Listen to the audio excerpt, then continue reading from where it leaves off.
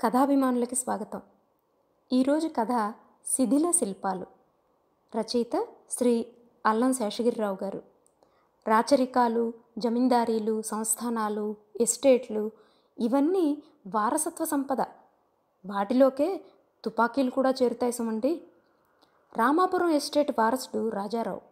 అతనికి ఈ విధంగానే తాతల కాలం నాటి వైస్రాయ్ దొరగారిచే బహూకరించబడిన ఎన్నో పులుల్ని మరికొంతమంది మనుషుల్ని వేటాడిన తుపాకీ ఒకటి వారసత్వంగా సంక్రమించింది. పులులు అంతరించిపోతున్నాయి కాబట్టి అతని తుపాకీ బారి నుండి తప్పించుకోగలిసాయి మరి మనుషులకేం కొదవలేదు కదా? కథ వినండి. బ్రిటిష్ సామ్రాజ్యపు హయాం మంచి ఉచ్చదశలో ఉంది. సంస్థానాధీశులు సెక్సు స్పోర్ట్స్లో మునిగి తేలుతున్న రోజులు. పెద్ద పులి వేటకి వేలకి వేలు ఖర్చైనా లెక్క చేయకుండా రోజుల తరబడి అడవుల్లో క్యాంపులు వేసి మృగయా వినోదంలోని రాయల్ థ్రిల్ని అనుభవించడం ఆనాటి రాచరికపు ఆనవాయితీ. రామాపురం ఎస్టేట్కి వైస్రాయ్ గారు పులివేటకు వస్తున్నట్లు జమీందారు రఘుపతి గారికి వర్తమానం అందింది. వైస్రాయ మరొకరా. వెంటనే హాలండ్ హాలండ్ కంపెనీకి పురమాయించి వైస్రాయ్ గారి బరువుకి ఎత్తుకి తగ్గట్టుగా పులివేటకి తగిన తుపాకీని తయారు చేయించి తెప్పించారు. వైస్రాయ్ గారు దిగారు. అంగరక్షకులు కార్లు మంది మార్బలం గుర్రాలు వేట కుక్కల అరుపులు. ఒకటేమిటి? ఎక్కడ చూసినా మృగయా వినోద కోలాహలం. ఆ రాత్రి రఘుపతి గారి ప్రైవేట్ ఫారెస్ట్లో వైస్రాయ్ గారు ప్రత్యేకంగా దిగుమతి చేయబడిన తుపాకీతో ఒకే ఒక్క దెబ్బతో పెద్ద పులిని కిక్కురు మనకుండా కాల్చేశారు. ఆ పులిని చెప్పిన టైముకి అనుకున్న జాగాకి వైస్రాయ్ గారున్న మంచి దగ్గరకు టెన్షన్గా తోలుకొచ్చారు. వైస్రాయ మరొకరా టపీల్మని పిట్టను పేల్చినట్టు పేల్చేశారు. రఘుపతి గారి షికారీ నిర్వహణ దక్షతని తెగ మెచ్చుకుంటూ వైస్రాయ్ గారు రావ్ బహద్దూర్ అని బిరుదునిచ్చారు. తుపాకీ మీద వైస్రాయ్ గారి పేరు పుల్ని వేటాడిన తేదీ మొదలైన వివరాలు సంక్షిప్తంగా బంగారంతో చెక్కించి ఆ తుపాకీని జీవితాంతం ప్రాణప్రదంగా చూసుకుంటూ ఒకరోజు రఘుపతి గారు కాలం చేశారు.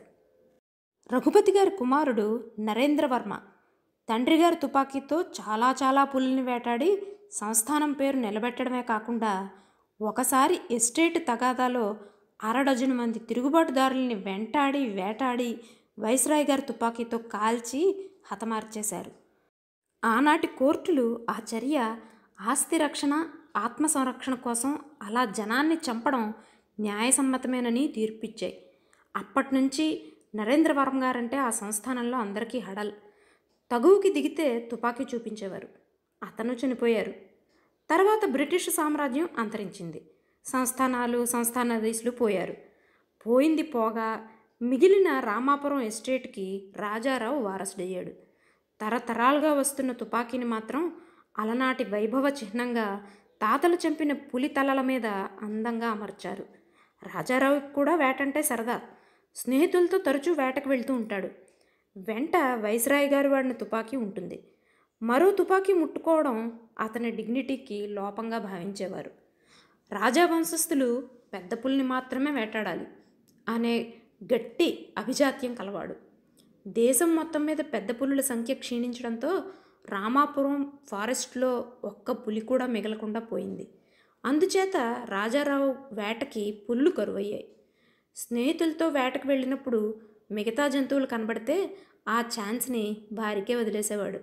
స్నేహితుల చేత వేటాడించి ఆనందిస్తూ ఉండేవాడు. రాజా ఒక్కసారి మీరు మీ తుపాకీతో ఎగ్జిబిషన్ షాట్ కొడితే చూడాలనుంది అని స్నేహితులు ప్రాధేయపడితే నో థ్యాంక్స్ బలవంతం చేయకండి. మా తాత ముత్తాతలు పులివేటలో గజవేటగాళ్ళు నన్ను జింకల్ని దుప్పుల్ని కొంటమంటారా అని సగౌరవంగా నచ్చచెప్పేవాడు. ఈ జన్మకింతే ఈ తుపాకీని పేల్చే అదృష్టం మరి నాకు లేదు అని నిట్టూరుస్తున్నప్పుడు అతని ముఖం మీద విషాద ఛాయలు చూచాయిగా కనిపించేవి.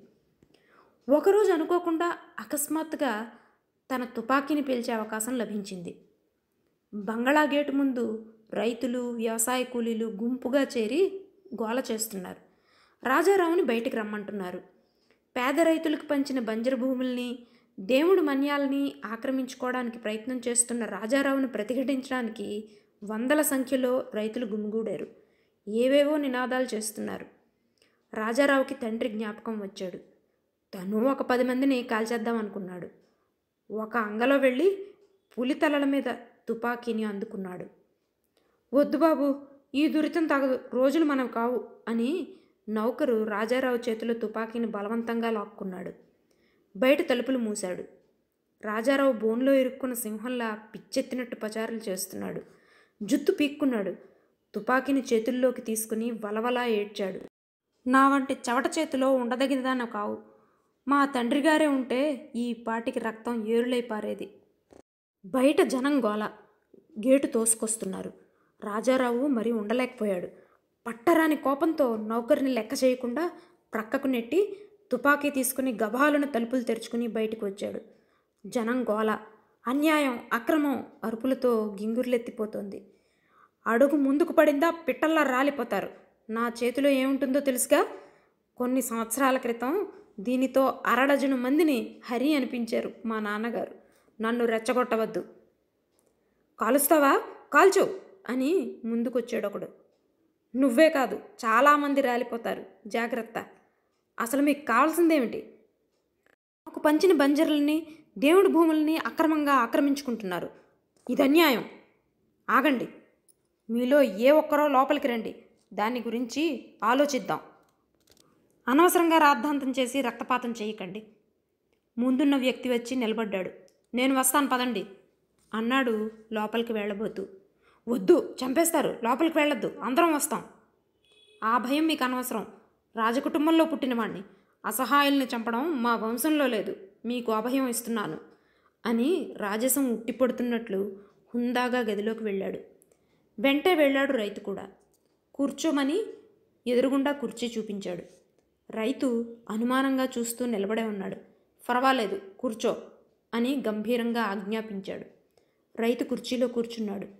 యువతల వైపు రాజారావు కూర్చున్నాడు. వాళ్ళిద్దరి మధ్య తుపాకీ బల్ల మీద ఉంది. ఇప్పుడు చెప్పు ఏమిటి కావాలి? ఎందుకు ఈ గోళ మాకు పంచిన బంజరు భూముల్ని కలిపేసుకుంటున్నారు మీ జనం. కాదంటుంటే కలబడుతున్నారు. దీనికోసం ఇంత రాద్ధాంతం? బంజరు భూముల్ని సాక్షాత్తు మా తాతలు ప్రతిష్ఠించిన దేవుడి భూముల్ని మేం కలిపేసుకుంటామటయ్యా? ఒకప్పుడు ఈ ఎస్టేట్ అంతా మాది కాదు దీనిలో ప్రతి గడ్డిపోచం మాది. మీకు వదిలేయలేదు? ప్రజాసేవకి అంకితమైన మా కుటుంబం మీ అరముక్క చెక్క కలుపుకుంటుందా? ఒకవేళ అలా జరిగి ఉంటే అది మా వాళ్ళ పొరపాటు. మీది మీరు తీసుకోండి. సరే? లేక నన్ను చంపితే గాని మీకు తృప్తి లేదా? అది చెప్పండి. నా కంఠంలో ప్రాణం ఉండగా ఈ తుపాకీతో మిమ్మల్ని కాల్చి కాల్చి తరువాత నేల కొరిగిపోతాను. అరగంట వ్యవధి ఇచ్చాను. ఆలోచించుకుని మీ నిర్ణయం చెప్పండి. ఇక నువ్వు వెళ్ళవచ్చు. అదేంటి బాబు? ఉత్తి పుణ్యానికి మిమ్మల్ని ఎందుకు చంపుతాం? మా కష్టాలను చెప్పుకుందామని వచ్చాం కానీ చంపడానికి కాదే. ధర్మప్రభువులు మీరు హామీ ఇచ్చారు కదా వెళ్ళిపోతాం అంటూ బయటకు వస్తూ రాజారావు బాబుకి జై రాజారావు బాబుకి జై అని దిక్కులు దద్దరిల్లేలా అరిచాడు. జనంలో జై జై ధ్వానాలు హోరెత్తిపోతున్నాయి. రాజారావు రైఫిల్ పట్టుకున్న గౌతమ బుద్ధుళ్ళ ప్రశాంత వదనంతో తుపాకీతో బయటకు వచ్చి అందరూ నమస్కరిస్తుండగా చిరునవ్వుతో ప్రతి నమస్కారం చేసి లోపలికి వెళ్ళిపోయాడు. తుపాకీని గోడకు తగిలించాడు. జనం వెళ్ళిపోతున్నారు. అకస్మాత్తుగా రాజారావు ఇంత మంచి నిర్ణయం తీసుకున్నందుకు అర్థం కాక రాజారావు నౌకరు తెకమక పడిపోతున్నాడు. రాజారావు సాలోచనగా సోఫాలో వాలి గదంతా కలయి చూస్తున్నాడు తాత తండ్రుల తైలవర్ణ చిత్రాల మీద సాలీళ్ళు తిరుగుతున్నాయి. నిరుపయోగంగా వేలాడుతున్న గాజు దీపాల గుత్తుల్లో కొడిగట్టిన క్రొవ్వొత్తుల అవశేషాలు మసగ్గా కనిపిస్తున్నాయి. మాసిపోయి చివికిపోతున్న పులి చర్మాలు ముడతలు దేరుతూ జీర్ణావస్థలో గోడలకి వేలాడుతున్న పెద్ద పులుల తలలు గత వైభవాన్ని వెక్కిరిస్తున్నాయి. రాజారావు కిటికీలోంచి బయటికి చూశాడు. దూరంగా పొలాల్లో దివాణం గుర్రం పచ్చగడ్డి కోసం వెతుక్కుంటోంది. గోడకి వేలాడుతున్న తుపాకీని మరొక్కసారి చూశాడు. వైస్రాయ్ గారు వాడిన తుపాకీ. కిటికీలోంచి నీరెండపడి సువర్ణాక్షరాలతో నగిశీలు చెక్కిన తుపాకీ తళతళా మెరుస్తోంది. ఒకనాడు ఎన్నో పులుల్ని ఎందరో మనుషుల్ని హతమార్చి తరతరాల వైభవాన్ని నిలబెట్టిన తుపాకీ. ఆ తుపాకీని చూస్తూ బరువెక్కిన హృదయంతో కళ్ళు మూసుకున్నాడు. అసలు విషయం ఒక్క రాజారావుకే తెలుసు. ఆ తుపాకీ పేలదు. ఇదండి శిథిల శిల్పాలు. అవును తుపాకీ కూడా ఓ శిథిల శిల్పంగానే మిగిలిపోయింది. వచ్చేసారి మరో మంచి కథతో కలుద్దాం. మంచి కథలను నలుగురితో పంచుకోండి. సెలవు.